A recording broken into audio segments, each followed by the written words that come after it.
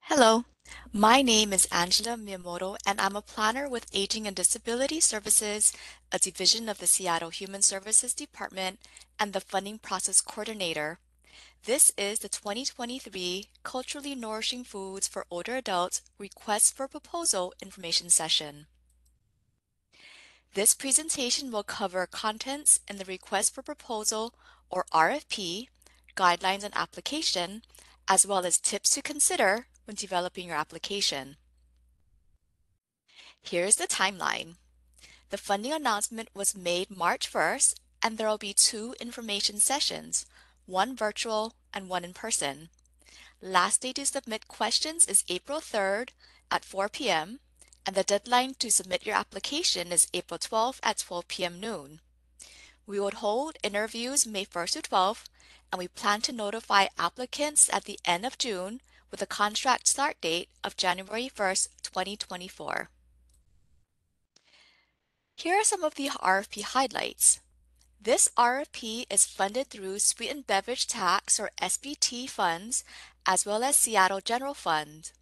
We intend to fund a maximum number of proposals resulting in no more than 10 new contracts, and we may combine funds awarded through this RFP with other Human Service Department contracts.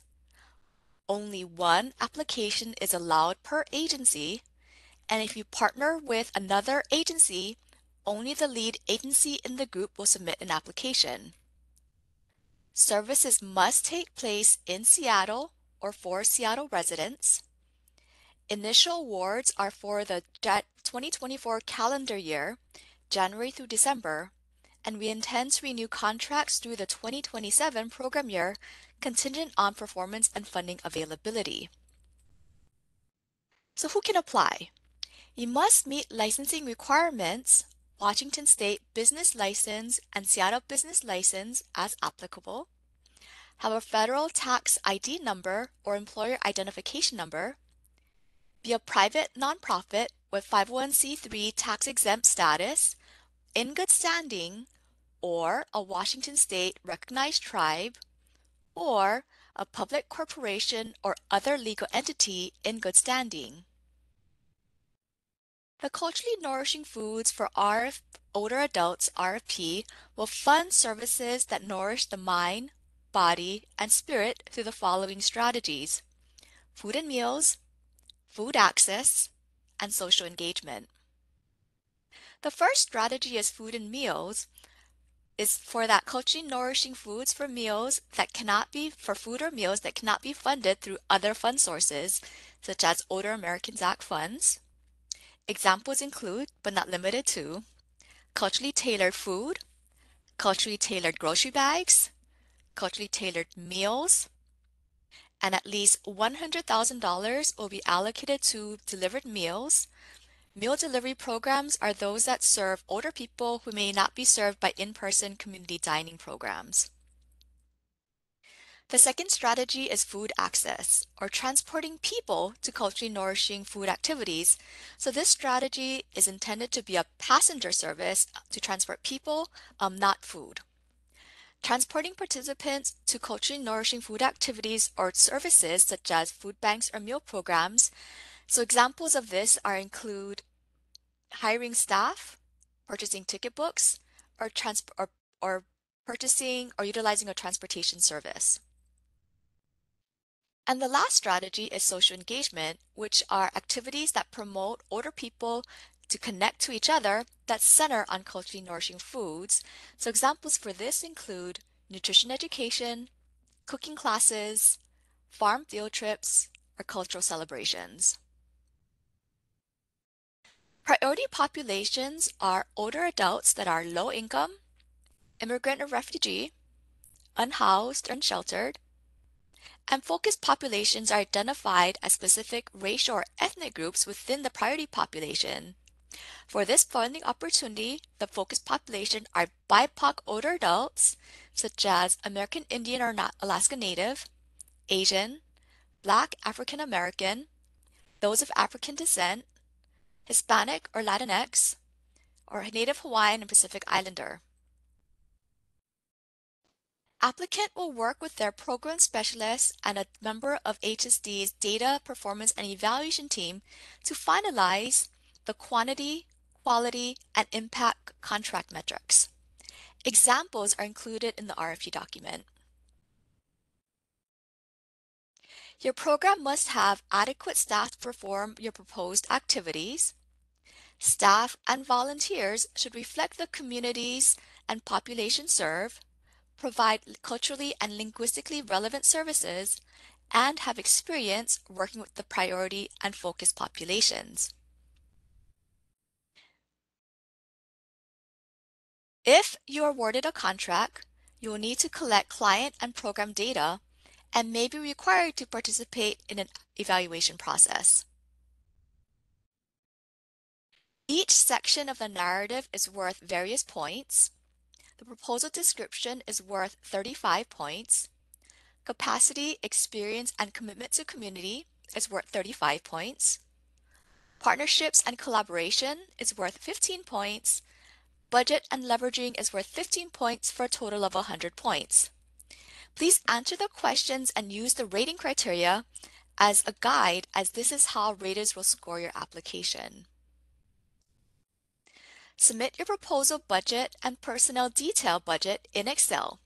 The Excel workbook can be found on our website. So this is the website.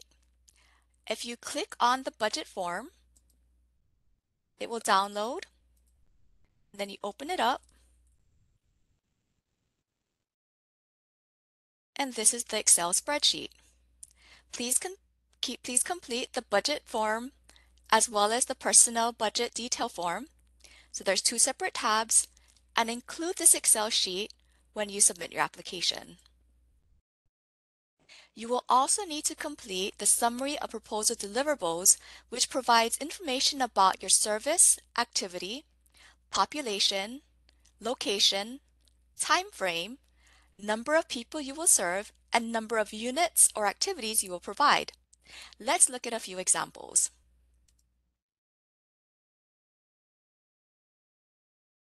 In this first example, this agency is proposing to deliver meals to seniors that cannot attend in-person or group dining. They would like to serve East African older adults in Seattle.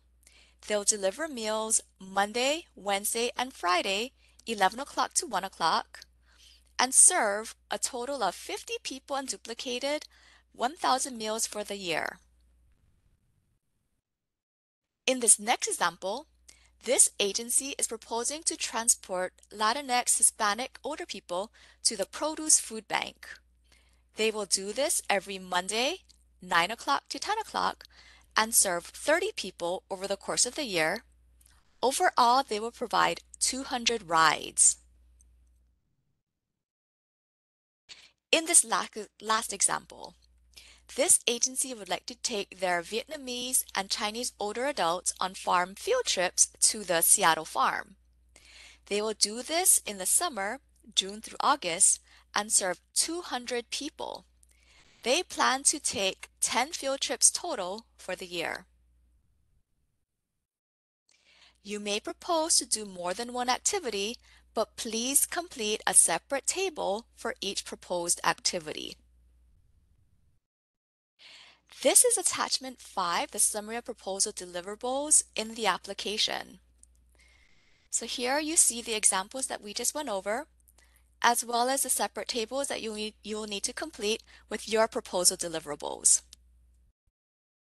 Please submit the following with your application. Signed cover sheet, narrative response limited to six page limit, your budget sheets in Excel, and summary of proposal deliverables. If you are proposing the following are optional, please provide a startup timeline if your proposed activity is a new service, a letter of collaboration if you're proposing a substantial partnership with another agency or individual, and a letter of agreement if you have a fiscal sponsor. Applications can be submitted online via our portal or email. Please choose either option and please do not do both. No fax, mailed, or in-person submissions will be accepted. applications must be complete and on time, and it's due April 12th by 12 p.m. noon. If you submit your application online, stop up uploading early in case you have an issue with connectivity. This is not an application, online application, so you can't save your work. There's a 100 megabyte maximum and it only accepts the stated file types. You will receive an email confirmation after you submit your application. Please email if you have any issues with uploading your application. When you click on the link, you'll find the following online form. Here's the online portal, and you can see here is the link to submit your application online. You may also submit your application via email. Attachments are limited to 30 megabytes. Please title your subject heading 2023 Culturally Nourishing Foods RFP you will receive an email acknowledging receipt of your applica application. After you submit your application, it's sent to the rating committee. Rating committee reviews written applications, then makes funding recommendations. Recommendations go to the HSD director, then agencies are notified. We'll also conduct interviews, which I'll go into detail on the next slide. Interviews will be conducted May 1st to 12th. The primary agency contact listed will be emailed to schedule the interview, and you will receive interview questions once the appointment is confirmed. The interview is worth 100 points and scored separately from your application. Their interview and application is worth a total of 200 points. If you would like to appeal the decision, you may appeal based on two criteria the violation of policies outlined in the HSD funding process manual, or violation of policies or failure to adhere to guidelines or posted published criteria and or procedures established in the funding opportunity. Appeals must be received within four business days from your award denial notification, and a written decision will be made within four business days of appeal receipt. If you're awarded funding, please be prepared to provide the following documents to move forward with the contracting process. So here are some tips to consider when doing your application.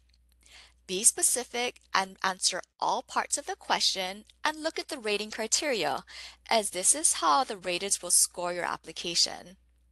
Double check your numbers and please use the Excel template to submit your budget have someone else review your application, and start early and allow a lot of time for the submission process as there may be issues with connectivity.